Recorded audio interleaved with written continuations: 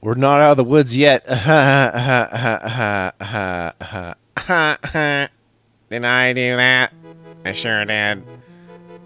PPW, which means a something. Piranha Plant Woods. It's all green here. Even the clouds are green. Which means we have entered the mint zone. You cannot leave the mint zone. Your breath is now minty fresh. Everything is mint in the future. Actually, I did use Linux Mint for a time, but right now I'm on Xubuntu? Or, no, just Ubuntu. I, I almost thought I had to worry about, like, how it looked in the UI sense. Turns out I really don't, for the most part. But if I ever need to really change it, I know exactly how to do it, so... Yeah. If your computer's crap, you need a better management system, I suppose. All of these plants like to kill you, and they like to eat, and Mario is dead. That are all the things. I was just looking up a, a story about in Japan. They they sell these big watermelons, and they call them Godzilla eggs. I'm like, oh sweet. That's pretty much it. But not really an anecdote, just a thing I've just learned about. Thank you, Internet. You've taught me random things that might be useful in the far off future of the year 40x the X. Never gonna happen. All that Trivial Pursuit will be for nothing. And a Trivial Fursuit, well, uh, no. This is the way of all my people. Okay, cool. What else is green? I like green stuff. Why not you? Hmm. Actually, you know, now that I think about it, I've never had green toothpaste. I've had white... I've had the three, like, main colors of toothpaste, which is red, white, and blue, oddly enough. You know, you've got your blue toothpaste, which is fairly ordinary. It's the actual toothbrushing part. You have the white part, which I believe is for freshening the mouth. And then you have the red part, which is for the gums. And that's how they sort it. At least I think that's our Or maybe it's the white one that's for the teeth and the blue one's for the breath. That might make more sense. Either way, yeah, color-coordinated dental hygiene products. When I've run out of subjects, I've decided to talk about things around the house. Observations outside of a limited space.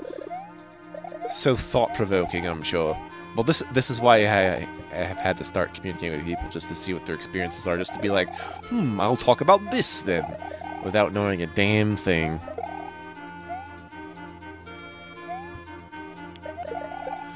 The Koopa wants to tell you to go fuck yourself, and then you get hit several times. This is just becoming a... This is becoming like a, a play of sorts, where I just describe what Mario's doing in time to the beat. I suppose that could work if you're literally blind, but also, I'm sorry, like I think blind or deafness is probably the worst disability to have for yeah blindness is the worst disability for video games really. Not that you couldn't play games it's just so many contexts you're missing it's awful. I would say that if you want to be less blind work on that if you can. Especially if you're born blind because you know, if you just become blind, you at least have some idea of what things are supposed to look like. But if you've never actually seen anything in your life, that has got to be heartbreaking. Of course, then you could fall in love with the thing, and, you know, a relationship would work out based on be like, oh, you're ugly, doesn't matter, I can't see a thing. It's like, oh, cool, no judgment from you then. Like, you think that's how it worked, but I'm pretty sure there's, like, a very small subset of blind people that are assholes that we don't know about. I don't know about them. Do they exist? Maybe. Do I know any? No. I think that's why we tend to think of anyone who's lacking, like, a major sense or ability as, you know, empathetic or heartwarming or good and innocent is simply because there's not enough of them. So we haven't met a lot of bad examples to judge them that way, and that wouldn't even make sense anyway.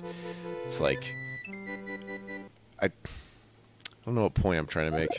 I don't think there was one.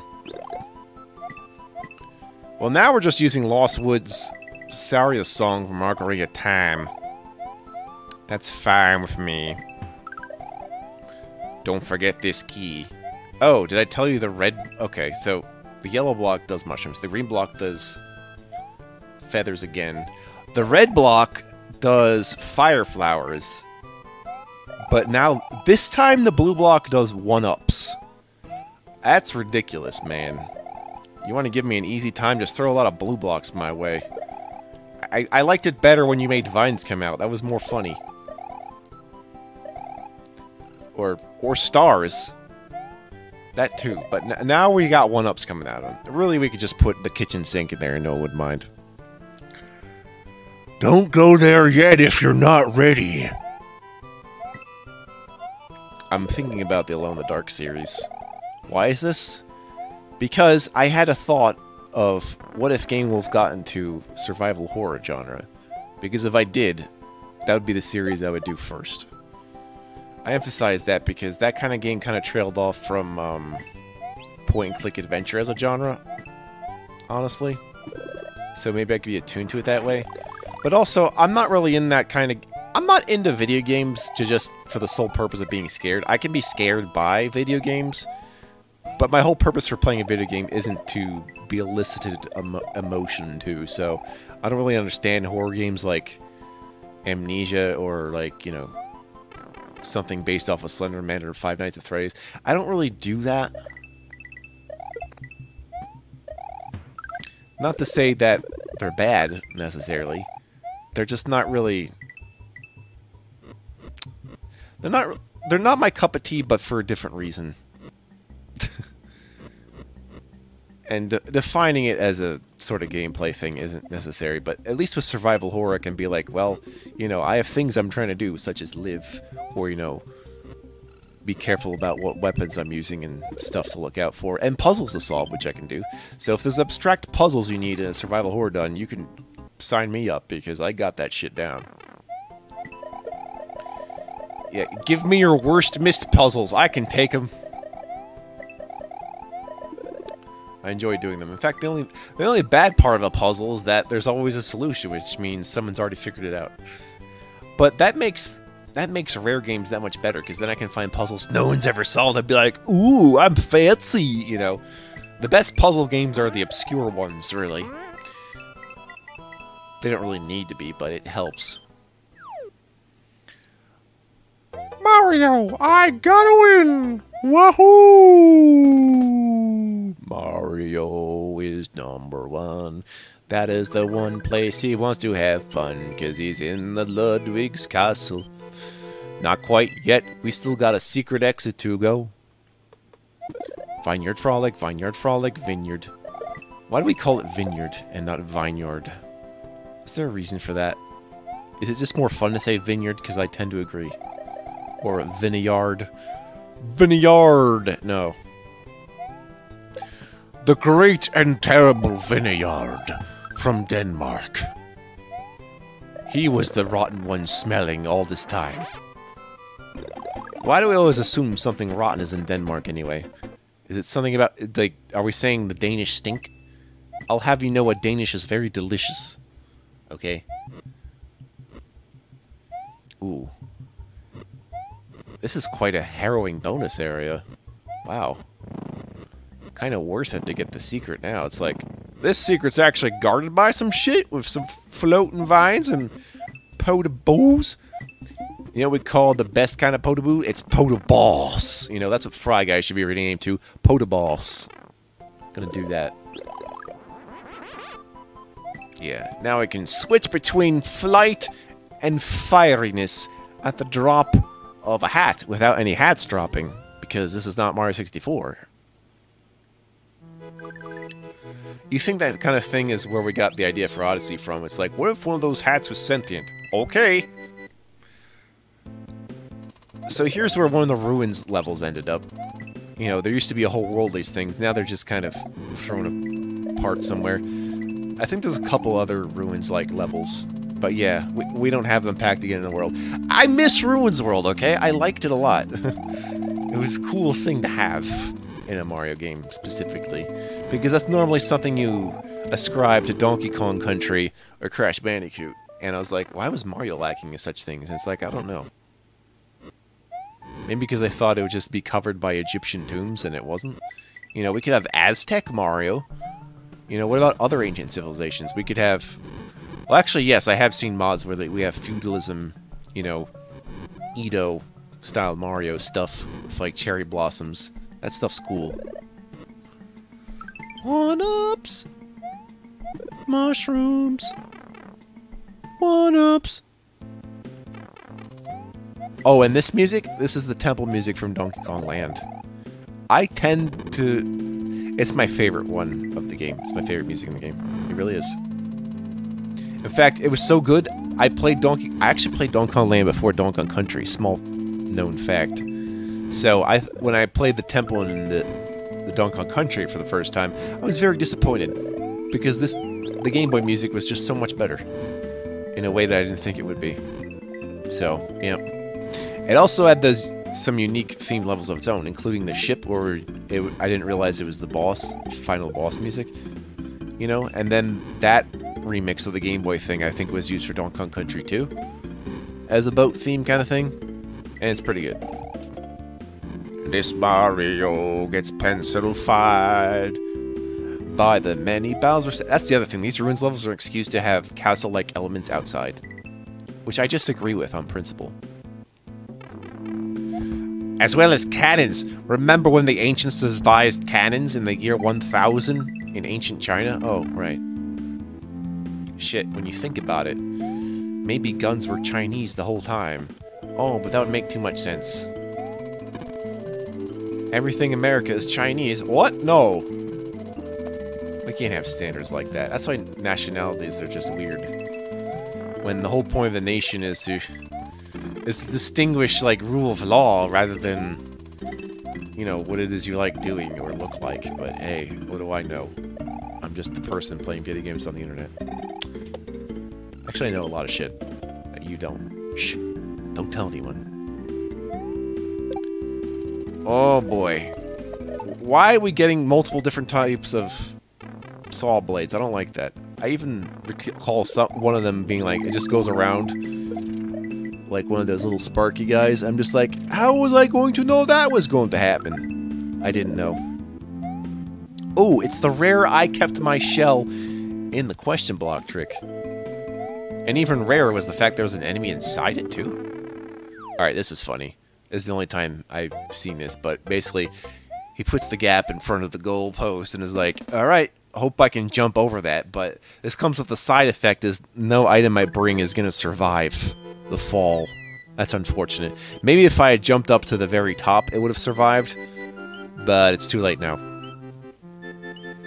Before we escape into the pipe zone, I need some more bonuses for my bonus parties. Give me my bonuses. Sorry about that, trying to get comfortable. Just adjusting myself, you know. You know, I cross my legs and then one leg wants to be the upper leg, and then the other one's like, no, it's my turn. It's hammer time. Guys, it's hammer time. Just out, out, out of nowhere. Get all your MC Hammer jokes out there right now. I demand it. So yeah, this level's okay. Since we're out of the forest world, this can just be anything now. it's cool though. I still I still mark this as part of World 3, according to me. I kind of have unofficial level number placements for a lot of these, so I use that for my own records. It's not in any official capacity. I would never proclaim to officiate what world names and level names are. I used to try to do that just to bring some sort of semblance of order. I don't need to do that. I really don't. And it wasn't so much order as it was, you know, kind of filling it in. It's like, what do I think this is? And why do I have this weird... Huh. I think I left my shoulder into the desk for too long. That's odd. I've got lines on my arms. Does that ever happen to you when you get up from a nap? you wake up, you're like, why are there lines on my arms? Because that happens to me. And I don't really quite understand it. Because I, I like to think the indent is from something specific, which is like, okay, except I don't know what's making that indent, and more importantly, what's making multiple indents that look kind of the same but in different directions and lengths. And I'm like, hmm, what could be doing this? I hadn't figured it out. But maybe me thinks my skin is readjusting. I don't know. Sure is right now. Seriously, what a place. What a placement, Powers. That we place us all along. Hmm. Ah, there's the Star Road. We'll have to come back another time. I found it. It was way out of there. But we had to keep the star outside of our reach. Now it is time for Ludwig's castle. Alright, Ludwig's the forest keeper this time around. And Ludwig is number three? Dude, you are coming on way too soon. Oh well, at least I'll enjoy his boss battle, but come on. Also, for some, this is kind of a weird tick, but I've noticed Bandicoot puts the hash sign, the pound sign for the number after the actual number. That could be like a romance language thing. Like in the way that instead of uh, it's kind of like miles and kilometers or the way American does their dates for the way we do our dates versus the rest of the world. So I like how the rest of the world does it though because they put the date, then the month, then the year as kind of an order of scaling, but no, because of the way we talk, we put month, then day, then year. And well, I've just gotten used to that. So you think to yourself, you know, July 3rd. That's not March 7th, you know, exactly. That's exactly the problem with that. Of course, you should know pretty damn well that there isn't a month 16th, but I want to live in a, in a timeline where we have that many months. Every month is just two weeks. Castle music. Oh, hey. So, why did I bring a star? Because kiss my Lakitu ass, that's why.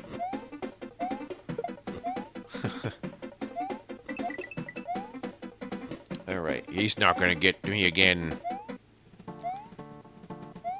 Ludwig's Lakitu themed castle. Because they're all nerds. Just like me.